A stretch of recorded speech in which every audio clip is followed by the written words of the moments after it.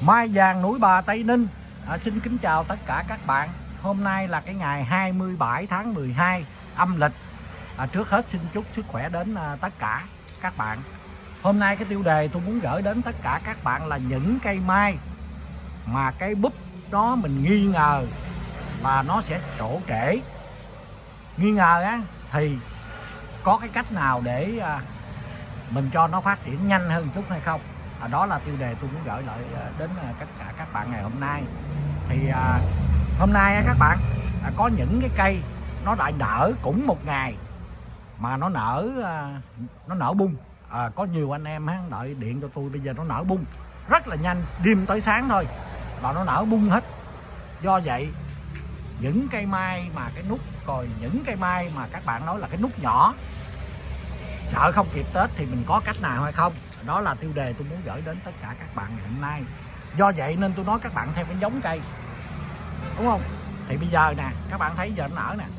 Ngày hôm qua các bạn xem nó một vài bông thôi sáng nở. Do cái giống cây do vậy nên khi những cái cây mai rép người ta dễ canh mình không thể so sánh với cây mai rép được. Tôi nói thiệt các bạn á không phải là mình mình nói à, để mình bào chữa nhưng mà thật sự chính bản thân tôi cũng không làm được. Cây mai rép nó chuẩn hơn là bị gì sao? Thí dụ bây giờ cái giống thủ đức đi ha mình nói cho nó gần gũi với anh em đi. Người ta biết được cái đặc tính của nó mấy ngày nó bung vỏ lụa mấy ngày nở sao? Còn những cây mai riêng tức là mình trồng từ hạt á à, thì mình chỉ canh cho nó sớm một chút là an toàn. Còn bây giờ lỡ nó trễ thì sao? Mình mất một năm tết mình nuôi thời gian rất là dài. Các bạn có đồng ý chưa? Thời gian dài rồi. Tết chơi có 3 ngày tết. Mà nó lỡ trễ là chết. Như cây mai này là các bạn cho là sớm không? 27 sớm. Nhưng hà theo cái cách làm kiểu mà à, chơi mai nhà ha. Có chơi còn hơn không? Nhưng mình cũng phải canh nha. Chứ không phải là mình nói vậy rồi mình mình suốt vô tội dạ thì cây mai này tôi suốt bữa 17 tại nhà. Hiện nãy nở còn. Thì cây mai này nó chơi tới mùng 3 Tết là bình thường nó nở này thì cây mai này tôi nói các bạn cây mai năm cánh. Đây bây giờ nếu các bạn đòi cây mai năm cánh thì có cây mai này. Lý do cây mai này là không phải là cây mai à, tôi trồng mà lúc đó là con tôi nó trao đổi gì đó. Và mình sẵn đây mình chia sẻ nè. Có những bạn đòi cắt cây mai ha. À, đây nè cái này dấu cắt nè. À, tôi qua đây. Mình vui mà ha các bạn từ từ ha dấu cắt rồi mình dưỡng nó lên dài 3 năm, hai bốn năm vậy tôi quên rồi, nó mới được vậy.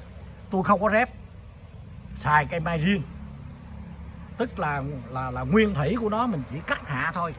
Khó quá các bạn ơi. Thôi, có những bạn cũng đưa cái hình ảnh cái cây vậy nè. Cây này thì giờ mua rẻ rề à nó không phải lớn cái này nè, mà nó mắc tiền. Nó hai cái cành nó đưa lên trồng ngông như nè. Mình cắt hạ xuống. Tức là cái cây này do cái tàn nó không ổn định thì theo tôi những cái mai này nè chơi được rồi. Tôi chơi mai nhà tôi không có kén bông. Năm cánh có người lựa năm cánh thì đây nè cái này mới rặt thôi. Còn những cây mai tôi trồng sau này á, là nó lai dảo lai hết. Và tôi nói các bạn thôi để vậy đi các bạn nuôi không nổi đâu. Tôi bây giờ tôi sợ rồi nè. Ba năm trời bây giờ được vậy là mừng rồi. Đây. Rồi bây giờ mình trở lại cây mai nở bông sớm bộ đụng là tôi nói do giống. Và mình tác động nó như thế nào thì những cây mai này có thể các bạn dời vô trong mát đúng không? Ha đưa vô nhà đi. À, có vậy ăn đưa vô nhà thì nó giảm là được ngày. Nhưng mà tôi nghĩ cái mai này chơi tới mùng 4 mùng 5 là bình thường.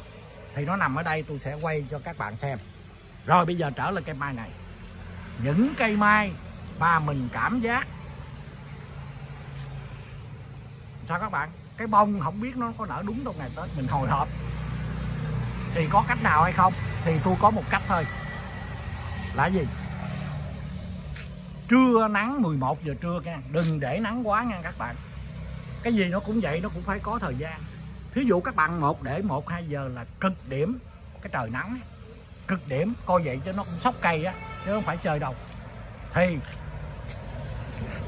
mình sẽ, sao các bạn? Trời 11 giờ mình rưới lên này rưới nắng nha. À, trời nắng mình lấy cái dòi á rưới sơ nó vậy. Nay 27 nè trưa nay 28 29 thì cây mai nó nó sẽ nở bung. Và cây mai này các bạn thấy không? Bây giờ chưa có gì nó một vài bông thôi. Thì cái này đúng tết á nhưng mà tôi lại hơi thà là sớm. Thôi trưa nay chắc tôi phải à xịt nhẹ cái ha nước á kệ nó cho nó sớm chắc ăn các bạn ơi. À, chính tôi làm mà tôi còn à, tại vì cái à, mình nói đại không khiêm nhượng ha. Cái trình độ về cây mai cỡ này á tôi làm tới nút cái gạo năm nay tôi đã hoàn thành.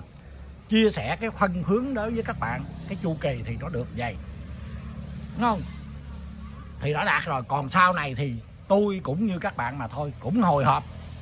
Chứ đừng có nói hay tôi cũng không hay ho gì đó bây giờ trưa nay tôi thấy cái này là đúng tết nè. Nhưng mà thôi trưa nay tôi rưới xương nó một cái. 11 giờ nha cho gì nó sớm một chút đi các bạn. Là nó chắc ăn. Rồi đó là cái cách của tôi. Và cái cách thứ hai là này có anh em nè có thằng cháu nó mới lại chơi. À, nó là chuyên nghiệp hơn tôi ha. Thì đây nè. Bây giờ tôi chỉ nhưng mà tôi không có làm nha nó chỉ tôi tôi nói là tôi không làm. Bị gì tôi nhát lắm quan trọng là cây mai. Nó kêu gì các bạn? Atonit. Loãng thôi. Cộng với ga ba các bạn thấy rối chưa? Cái ga ba các bạn những các bạn chơi nông nghiệp. Đúng không? Chơi trong cái nghề nông nghiệp thì các bạn rầm cái vấn đề ga ba còn bây giờ, những anh em khác không biết cái ga ba là cái gì hết. Rối không? Thôi, tôi mới nói với thằng cháu tôi nói thôi, có sao chơi vậy đi bé ơi chú à, không có xịt cái đó đâu. Nó nó hướng dẫn đúng đó. Này, nó chơi mai rất là giỏi. Tức là nó cũng như là cái bậc thầy hồi đó nó chỉ tôi làm mai đó. Thì chính xác rồi. Ở đâu có gì không chính xác các bạn, đúng không? Nhưng, thôi, tôi nói thôi. Bảo quản cây mai đi. Cái này ra. Chùm chùm mà nó thơm. Các bạn nói cái giống tôi thấy cây nào nó cũng thơm hết các bạn ơi. Bây giờ nè, tôi đứng đây nè ha. Là cái cái mùi hương nó tỏ ra. Ừ, ồ rất là là là thơm. Thì mình ngắm đi. Bây giờ dày tôi chịu nè. Vậy đó. Cái này nó 29 nó sẽ nở. Nhưng mà tôi chịu đúng không? Đúng không các bạn? Dày đi tôi chịu mà dày giờ. Nó ngon đấy chứ mà. Nó hơi ngán tôi đấy chứ. Thôi, cho sớm. Đừng để muộn thì cái cách là gì? Vậy tôi chỉ có nhiều cách đó thôi. Cái nước là tôi không dám ngừng.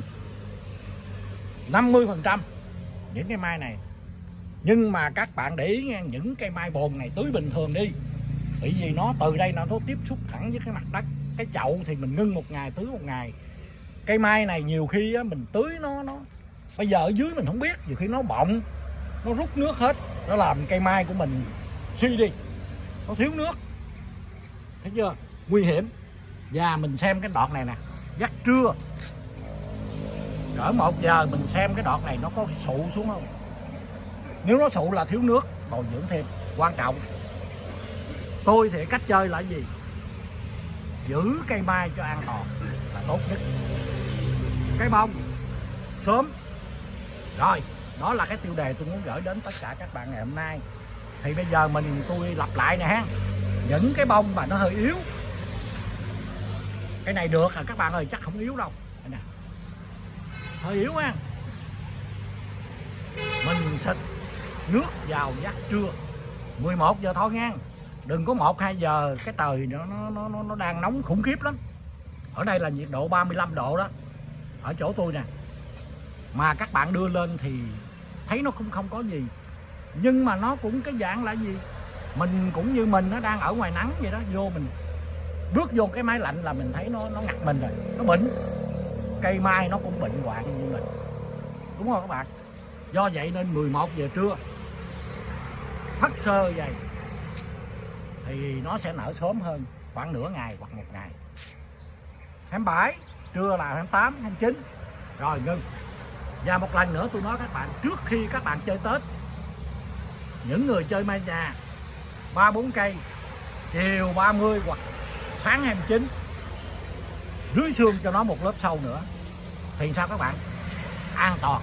Rồi qua năm nó muốn ăn cho nó ăn đặng. Mình qua tết rồi, mùng ba, bốn, năm là xong rồi. Thì mình phục hồi nó chứ có gì đâu, đúng không? Rồi bây giờ, đó là cái gì tôi chia sẻ ngày hôm nay. Thì bây giờ tôi nói với các bạn nè. Cây mai này là cây mai zin tôi không có rép tôi không có chơi rép tôi cắt xong. Nuôi lợi này ba, bốn, năm gì tôi quên con tôi nó làm chơi. Rồi phải bẻ cành, đúng không? Phải uống theo nè. Đó, các bạn thấy nè. Phải vậy không? Kịch lâm. Rồi bây giờ nói về vấn đề sâu thì có một bạn qua chia sẻ là tôi đồng tình. Cái lỗ này nè, các bạn, nó có cái lỗ á. Này tôi không có ha, qua tôi chia sẻ rồi. Là gì hình như con sâu ở trong nở ra đó, con bướm á. Nó chích vô trong này nè. Nó chích vô trong cái lỗ này à giống như dưa leo rồi cái nọ ha. Con rùa vàng á con rùa vàng trong cái trái cây nó chích vô. Cái ấu trùng nó vô trứng đó. Khi nó nở ra, các bạn, nó chung ra. Ồ, phải chết được hết chứ. Thành ra tôi nói sâu ăn, có những bạn không đồng tình, thì tôi đồng ý.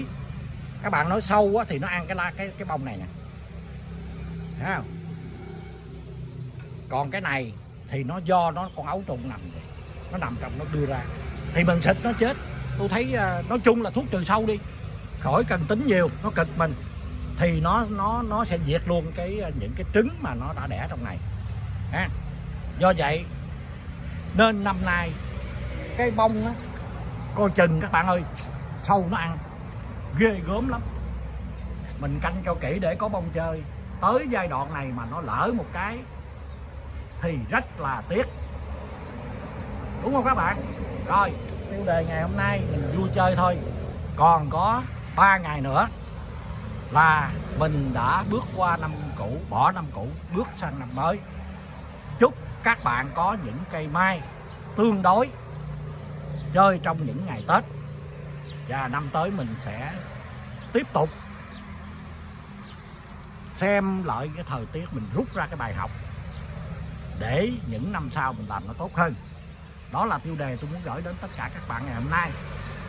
Xin chào và hẹn gặp lại các bạn ở clip sau.